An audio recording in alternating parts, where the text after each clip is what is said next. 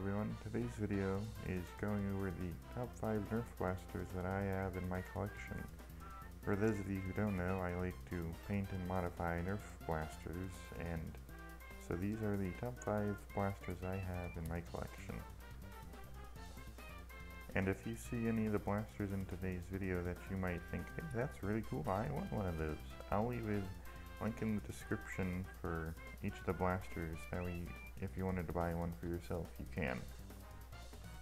So I'll give you a firing demonstration, and then I'll show up close the details on how the blaster functions and all that kind of jazz. Number 5 on my list is the Perses. It's been modified with an extension hopper and has also been modified to take a 3S LiPo. It shoots the little rival balls and the extension hopper gives it a total capacity of about 120 if I'm remembering it correctly.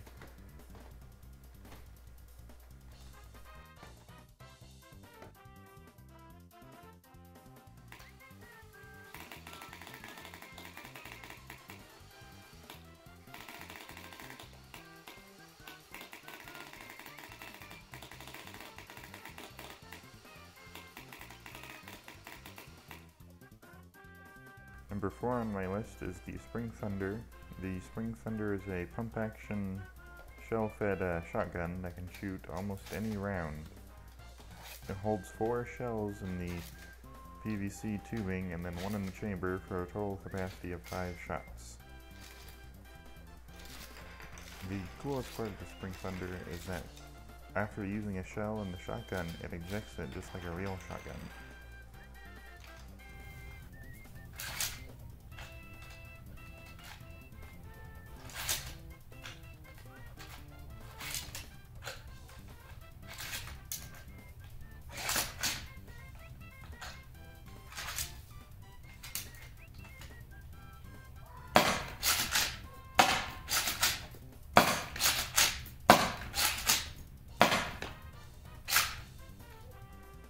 3 on our list is the Dart Pro Mark III. It's been modified to shoot half-length darts and has a custom cage along with custom wheels.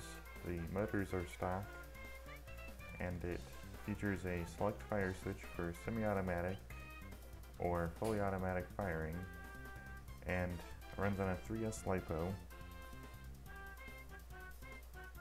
and shoots at about 150 feet per second.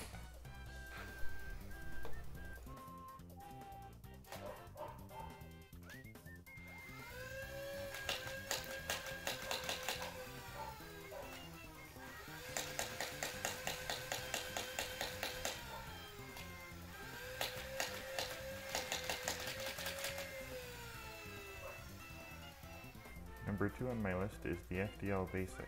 It exclusively fires half-length darts and has brushless motors and two knobs on the top that gives it variable fire rate and variable motor speeds.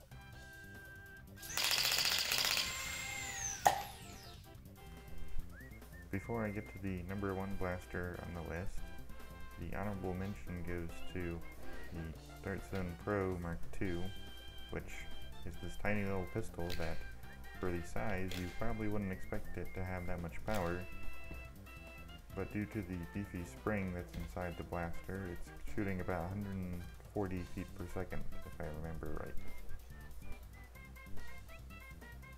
And has an internal mag of 6 shots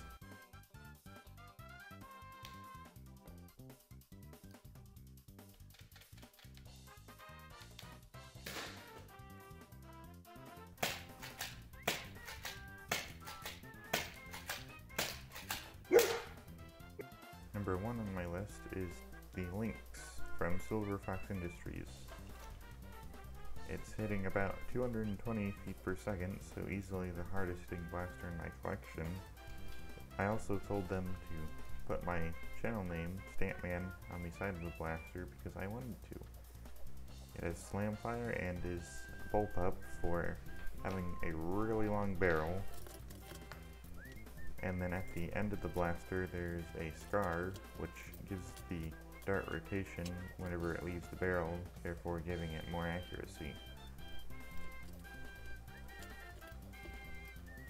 What's also neat about the blaster is that I can take apart the entire thing, except for a couple of pieces, without the need of a screwdriver.